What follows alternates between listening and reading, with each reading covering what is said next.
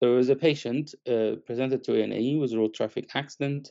He has fracture with arterial injury, GCSS 15, hemodynamically stable, pulse could not be felt in the foot, uh, uh,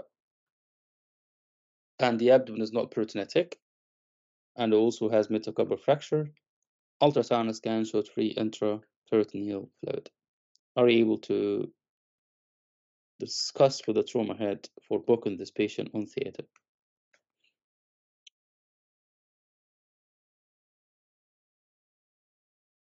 Okay, sir. Uh, so should I start the call? Um, when you go, so basically, in the scenario, we'll have nine minutes in a preparation room, and in the next room, just pick up the phone or a laptop and then speak. Whenever you're ready, speak. You'll find someone answering your call.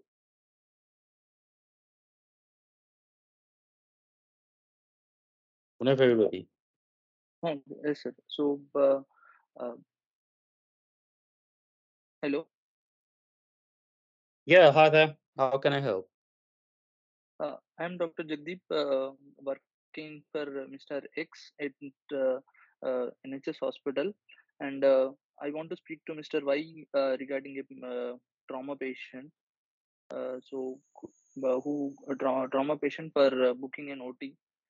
So, could I check who am, who am I speaking to? Yeah, hi there. I'm Abdullah here. I'm I'm the trauma head, um, and uh, yeah, I'm the right person that you should be speaking to. So yeah, how can I help? You said you want to book someone to Uh, theater. uh, Why? uh, we have a polytrauma patient, sir, with uh, vascular injury. Yeah, are you able to give me a little bit more details about the patient?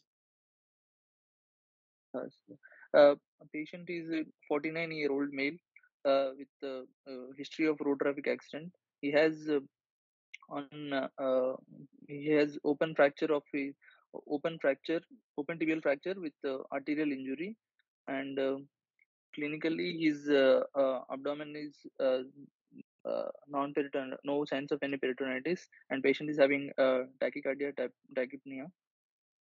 No, no, sorry. Uh, clinically, his pulses could not be felt in the uh, left foot, and his abdomen is not peritonitic. And uh, imaging showed his ultrasound.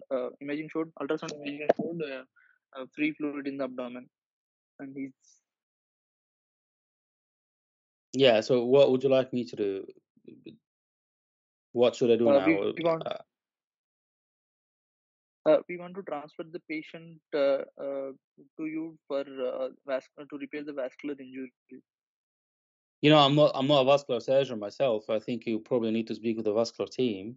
Uh, I'm just, you know, the theater coordinator, so I just book the patient for theater. I do appreciate that the patient need to be booked in for theater, which I'm very happy to do that. But you need a surgeon to do the surgery for him.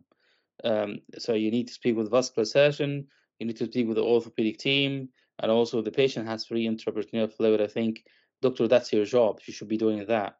You should be booking the patient for all these reviews from the other team. Uh, I'll do that, sir. Uh,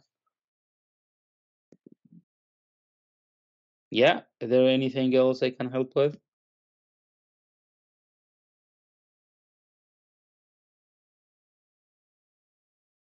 Hello? uh, no, sir. I didn't read the question. Okay. And uh, well, um, you didn't give me the patient details as well. So what is the most urgent thing uh, thing that you think is is is needed about this patient?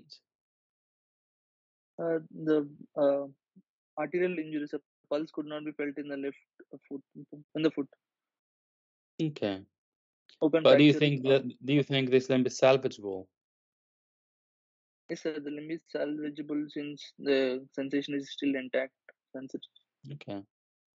Uh, does the patient have a C collar in place? Sorry, sir. Does the patient has a C collar in place? Uh, uh, yes, sir. I'll check. If it's not there, I'll make sure it's. Uh, we'll put a uh, uh, cervical collar and tape around the neck for stabilizing the neck. Okay. Yeah, fine. And uh, uh, do you think the patient might be dehydrated? Did he lose any blood or something? Yes, patient uh, is uh, not dehydrated, but uh, we have started fluids and crystalloids. We gave, we have arranged blood also. And if the patient now at present patient is hemodynamically stable, but if he deteriorates or and we have sent blood also, so if the hemoglobin comes low or the patient deteriorates hemodynamically, then we'll give colloids also. Okay. Okay, fine. Um, yeah. And so what, what's your plan, doctor? Can you summarize your plan for me? Um, uh, I will talk, uh, I will uh, uh verify the cervical collar if it's present or not. If not, I'll uh, make sure it's there. Uh, and then I'll call the vascular surgeon and orthopedic surgeon and anesthetist and book uh, book operation theater also.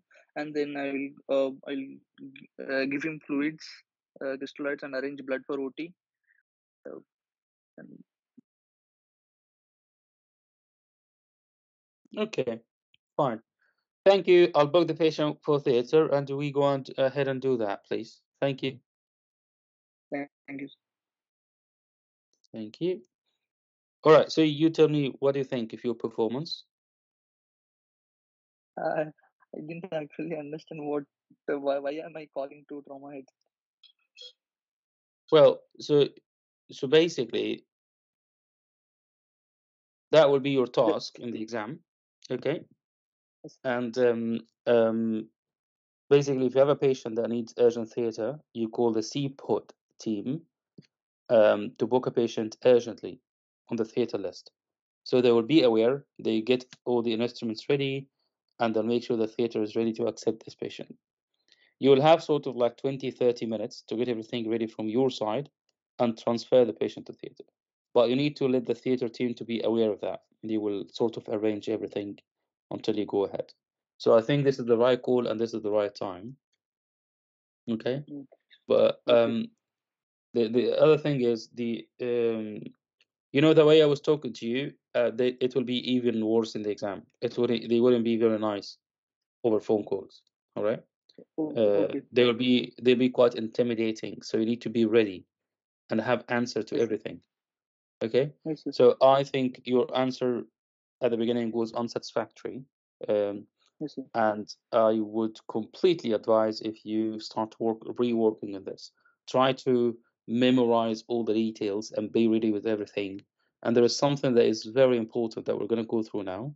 So of course you're going to like uh, introduction, start by introducing yourself and doing all these kind of things. Okay, you're expected to do an SBAR approach. That's that's a, a crucial part, which I think you haven't done well. Uh, I think you you need to reread that and do it in a better way. So, for example, in the SBAR approach, what you do is the SBAR is situation, background, assessment, and, and results or recommendation. So what I do is, um, at the beginning, I will confirm who am I talking to. So I'll say, hello, sir, this is Abdullah here. I'm one of the doctors in A&E, and I'm calling you to book a patient with arterial injury uh, uh, on the CEPOD for the operating list. So I sort of give the other side a quick idea of what's going on and what needs to happen for this patient. That's number one. All right.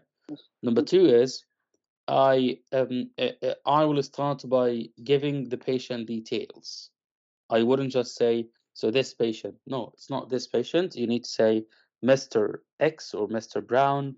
Uh, date of birth is this. Hospital number is this. Presented today was a road traffic accident with open tibiofibular fracture with absent foot, foot pulses. We're suspecting arterial injury. So this is the situation, as you can see. There are many other things, but that's the main situation that you're calling about. Okay, that's the main situation. That's the main reason you're calling this patient. Okay, background. We didn't find any associated injury in this patient. There is no background history of note. However, I'll check the note, gather more information, collateral history, get a. That's in terms of background. In your assessment, is hemodynamically stable? With basically in your assessment, you're saying the A to E approach. All right. So is hemodynamically stable, GCSS 15, open leg fracture, metacarpal fracture, and absent lower limb pulses. Blood pressure results are not available for me. The abdomen is soft, non-tender, but the ultrasound shows free intraperitoneal fluid, which I will need to check with the orthopedic team and also the general surgery team to have a review for the patient, but it shouldn't delay the patient going to theater. Okay, so Okay. my recommendation is I recommend one, book booking this patient on the theater list. Two, I'll speak with the vascular team and the orthopedic and call team. Three, I'll speak with the general surgery team to uh, uh, review the ultrasound and have a look at the patient. Four, I'll go and re-review the patient, do a full A to E assessment, make sure that he has the needed the needed bloods available and the X-rays, and also ruling out any bleeding anywhere else. Make sure he has a cannula and is being resuscitated and not dehydrated, and make sure that the spine is cleared as well. So look at that. That's your presentation. You didn't wait for for me to ask you any questions. All right. That's your presentation. Mm-hmm. You need to go and you know say all of it on one go to the examiner. All right.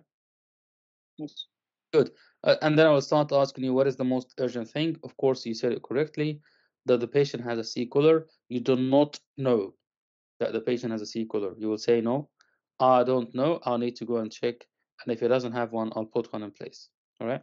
Is the patient dehydrated? You don't know if he's dehydrated or not. You will say, I have to examine the patient first and check. Uh, and if not, and also check the fluid chart. And if not, I'll the patient in fluid and arrange blood. What's your plan? Which we said it uh, a little bit higher up. Does this make sense?